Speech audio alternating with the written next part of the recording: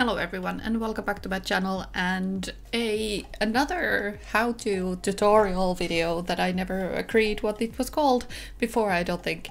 But anyway, it has been a good while, hasn't it? It has been like two years since my last one and as of late I was requested if I could make a tutorial how to recolor existing items, wallpapers, floors, whatever in the Sims 4 Studio. And indeed, yes, I can. Um, at least this is how I recolor um, wallpapers and floors and create them myself. There is definitely other ways. I know for sure that people are using Blender and other alternatives to do these, especially in the object and create a sim area.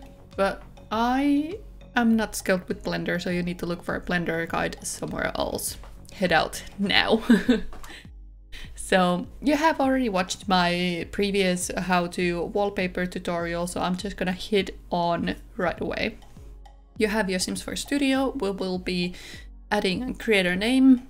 It usually is ready uh, filled in if you have filled it in once.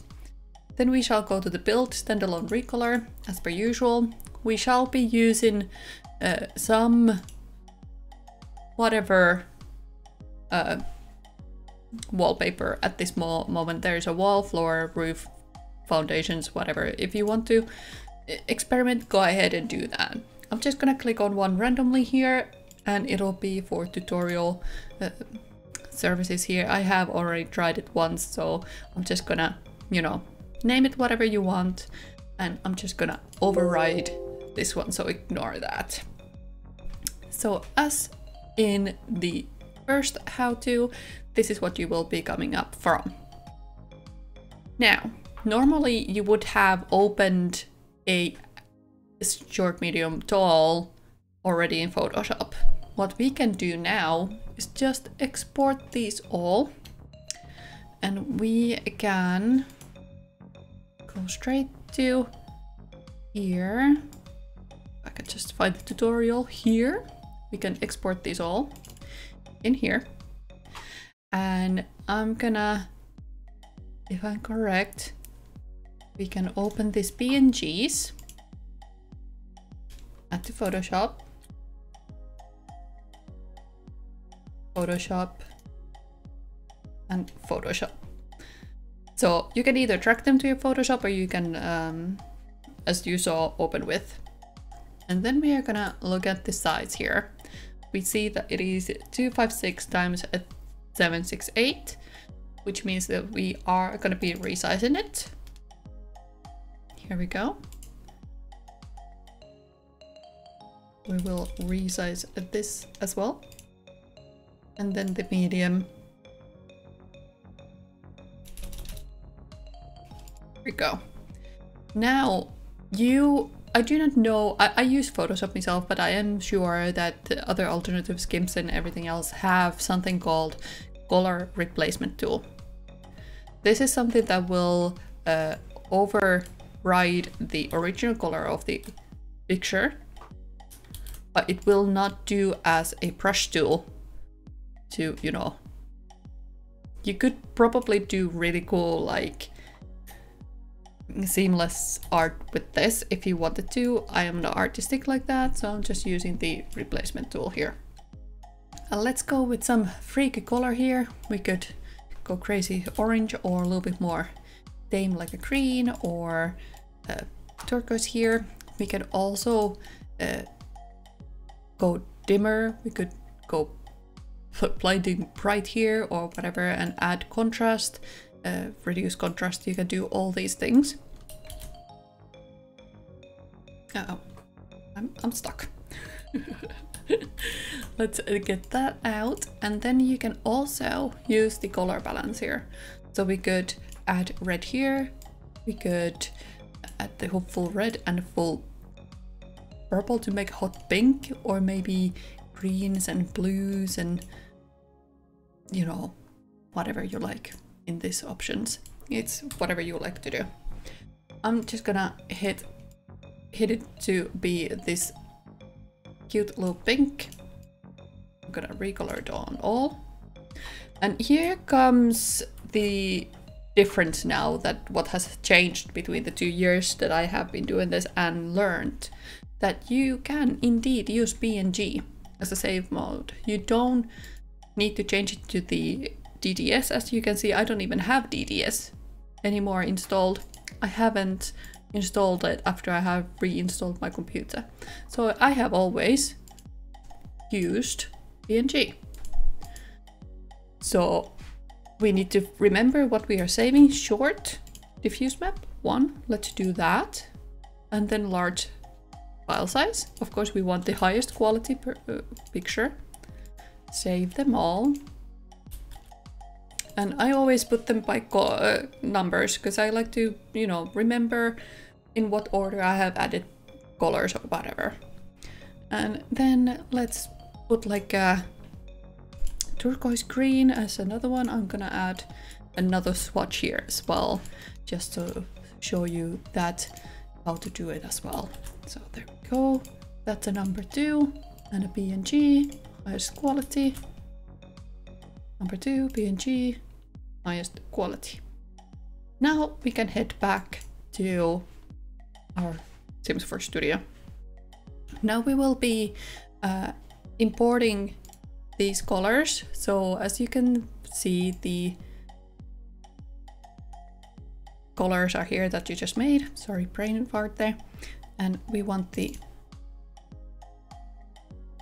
right sizes into right spots here. So keep an eye out where you're putting what. Then you can add a swatch. You can add them again. Now we start from the tall to the medium because I was lazy to change that. oh, that was pink. We want the green.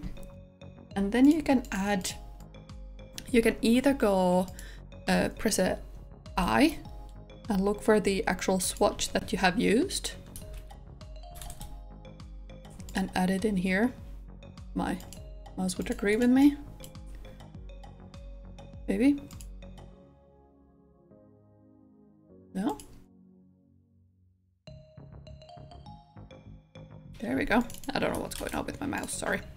It moves, but it doesn't recognize anything. So you can either copy the swatch from your Photoshop or alternative, or you can just, you know, whatever looks close enough, you can, you know, choose it from here. So now you just give it a name, uh, uh, name tutorial, and you can put some information here, tutorial.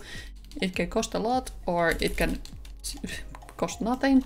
And then tags, if you wanted to add these, you could. So this is uh, red or pink, whatever you consider, and this is either a blue or green, whichever you consider.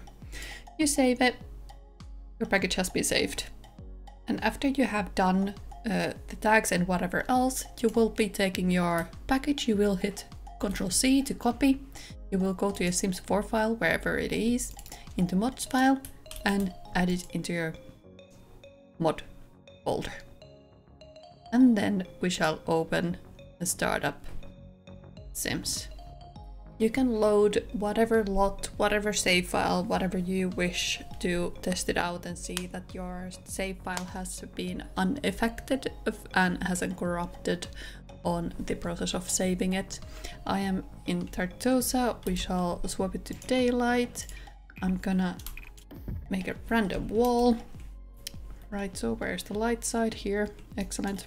Very, very unnecessarily big wall. Okay, there we go. And then we shall try to find the original, what we had in mind. I'm gonna filter by this. Maybe we can find it from the dials. No. I don't actually have any idea what dial it was that we recolored. What was the... Oh, this one. Right. So we recolored this one. And then we shall go to custom content and we find it here. And it has now swatches as well. How brilliant is that? There you go. And then obviously it'll change from whatever height your wall will be. And the texture, the um, lines will be the same. It hasn't gotten wonky because of the sizing has been corrected. So remember always do that. And the right height PNG has been added to the right in Sims 4 Studio. But that's all from me today. I hope you had good time and I hope this helped you to understand the recoloring process of the existing uh, uh, patterns in the Sims 4 at least for wallpapers. This same goes for the floor. You can you export the floor picture, save it as you did for the wall. On the floors though, you only have one picture. You don't go from, you know, you don't need to do all the angles or whatever. You can just do it from the one teeny tiny square that the game gives like this. or you can make completely new new looking floors as well. You can just add the uh, pattern for that. So, yeah, there's many options here. You can do whatever you wish really, but yeah. Uh, floors, very easy, just as walls, very easy. I hope you had a good time. I hope this helped you. Ask any questions if something was unclear. I hope this was just a addition to the other original how-to video.